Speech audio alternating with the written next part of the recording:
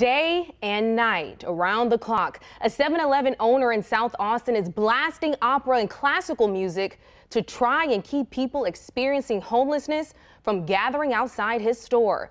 Thank you for joining us. I'm Daranisha Heron. The 7-Eleven owner said the city of Austin isn't doing enough to keep people from soliciting and leaving items on his property.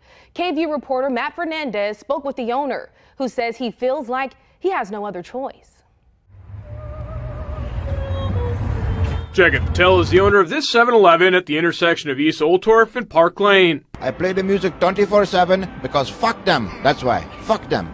Patel says this comes as there's been issues with the homeless encampment next door. These motherfuckers.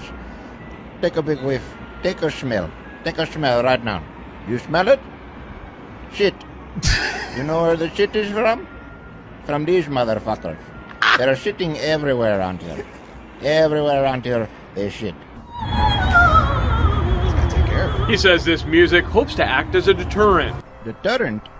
No, I hope it fucking drives them crazy. Okay? Fuck these motherfuckers. These motherfuckers. Fuck these motherfuckers. You understand? You understand what I'm saying? I say fuck them. Salem stays at the homeless encampment. I can hear it all night. I can hear it during the day. I mean, if I want to go take a shit in peace, I gotta go. I gotta go way over there. Patel says since he started playing the music, he has noticed a change. All the customers, they come into me and they say, thank you, Mr. Patel.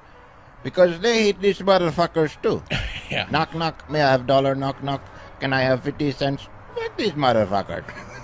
I'll get a job, motherfucker. In Austin, Matt Fernandez, KVUE News.